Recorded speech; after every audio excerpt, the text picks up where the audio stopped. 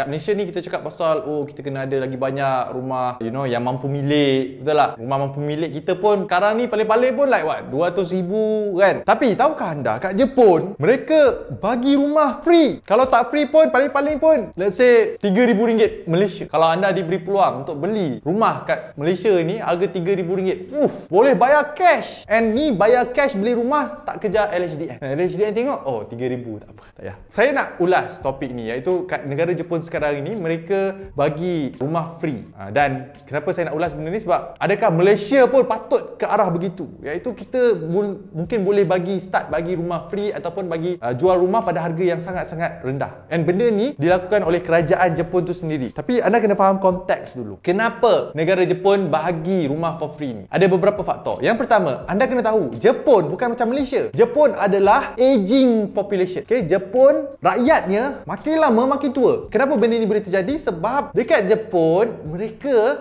the rate of orang meninggal dunia okay, lebih tinggi daripada rate orang lahir. Ada satu berita yang saya baca like rakyat Jepun ni bakal pupus. Kalau mereka kalau kerajaan mereka tak buat apa-apa. Okay, sebab mereka tak kahwin, mereka sangat-sangat busy dengan kerjaya, laki ke perempuan ke fokus pada kerjaya. Even sekolah, sekolah-sekolah mereka anak budak-budak kecil tak ramai. Banyak orang-orang tua. So, itu faktor pertama. So, bila orang tua, apa jadi lepas tu? Orang tua meninggal dunia lah. Dan mereka tak, tak ada anak, tak ada waris. Waris pun mungkin seorang, dua orang dan waris-waris yang mereka yang sedikit ini mereka pergi mana? Mereka pergi duduk di bandar. So rumah-rumah mereka ni banyak yang terkosong, terbiar. Terutamanya kawasan-kawasan uh, luar bandar, kawasan-kawasan kampung. Apa yang berlaku? Rumah-rumah ni tak dijaga. So apa yang kerajaan mereka buat? Rather than biar saja benda ni terjadi, mereka buat inisiatif iaitu mereka jual rumah ini dengan harga yang tak masuk akal. Harga yang begitu murah. In fact, boleh bagi free. Nak, I boleh bagi free. Okay, bagi rumah free. Tetapi rumah-rumah free ini, rumah-rumah yang diberikan ini rumah yang di luar bandar. So, bila kita bagi rumah free, dekat negara yang cost of livingnya begitu tinggi, so orang-orang muda